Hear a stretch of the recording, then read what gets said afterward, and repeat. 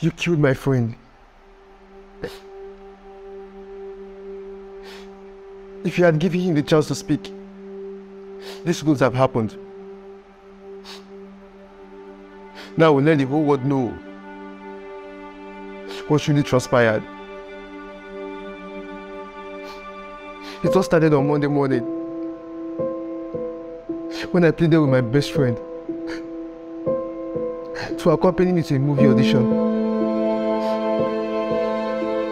He was an upcoming artist. And I believe you all know what artists look like. East. We both happen to be rascals, but trust me, we are just God-fearing guys with talent. Who can't wait to see their dreams come to pass? We wanted to order a ride, but we are fucking broke, so we decided to the bus. Just when we got halfway, so policemen stopped our bus and asked me and my friend to come down.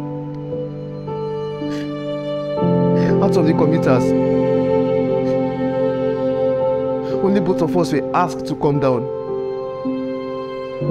Just because we are putting on good clothes and fake jewelries. Of course, you don't expect us to wear rags to a movie audition, do you? We only came down. Only for them to tell us to show them our phones. We were obliged without hesitation. Why do we accessing our phones?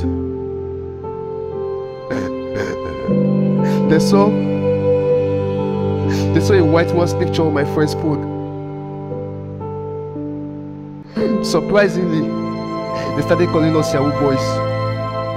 Officers, we are not fraudsters. Just for me to go further, a heavy slap landed on my face. And we were asked to be silent.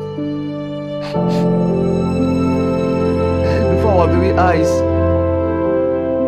the whole thing started getting tougher. Out of fear, my friend started running. The police officer started chasing him. Hold it, or I shoot. He was still running. I was trying to beg the commander when I had a gunshot. I ran back to the scene. Only for me to see. Only for me to see my friend lying lifeless in a pool of blood. He was killed for no reason.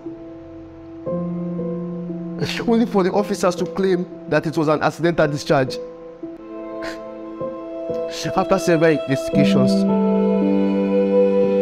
later found out that the picture they saw, that the picture they saw my friend's phone was an American singer who is just a role model to my friend. This is just a medicine after death. If only you had allowed us to speak, this wouldn't have happened. Now my friend is no more. He has gone down to the grave with his dreams.